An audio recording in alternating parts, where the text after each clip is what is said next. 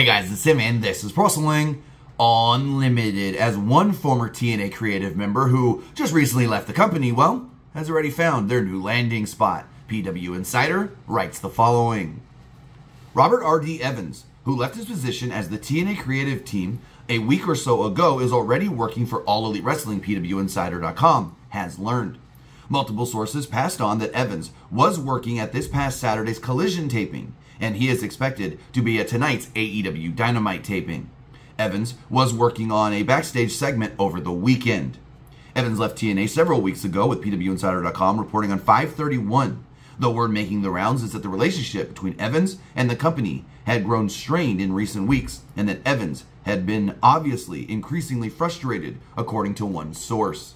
Now, RD Evans is somebody that was seen as a top creative guy within Total Nonstop Action, especially once Scott D'Amore did leave the company. And so this is a big hit for TNA. I mean, it was when this news came out recently that he was leaving, but this could be good for AEW somebody that is really widely respected in the creative space in pro wrestling, somebody that could really, really help Tony Khan on that side as well. Again, this states that he was working on a backstage segment last week at Collision, so we don't know exactly what his role fully is going to be in AEW, but if I'm just spitballing an idea, I would say Tony Khan maybe says, hey, RD, you take over creative for ROH, or you run some of the stuff at Collision and then it takes a little off of my plate. That's just what I would say, but Tony Khan's the kind of guy that likes to just do it all himself for the most part we've seen over these last five years. But if we do hear anything further on what the new role in AEW for RD Evans, Robert Evans could be, we'll have it for you right here. Pro Wrestling Unlimited.